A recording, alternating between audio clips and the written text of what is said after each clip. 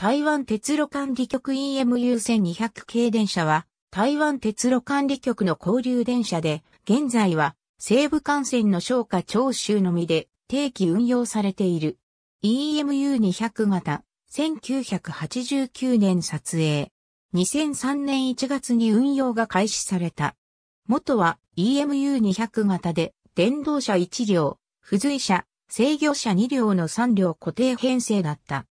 2003年1から7月に編成中間となる制御車の乗務員室と運転機器の撤去をはじめとした給料固定編成への蘇生変更、前面の悲観通過、客用扉の自動化などの改造を行い、現在の形式に改められた。改造は台湾車両、日本車両、住友商事による合弁企業で行われた。塗装も白地に赤とオレンジ色の縞模様と従来のものから大きく変更された。この塗装にちなみ、台湾の鉄道ファンには、後半馬と呼ばれている。全車高沖無断徴収車両基地に集中配置されている。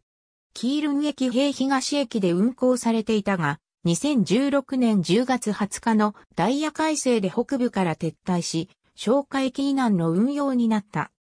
2017年3月、桃園機場早運開業に伴う空港利用客の取り込みを狙い、台北駅の連絡通路に統計式を模した新たな大鉄弁当の販売店が登場した。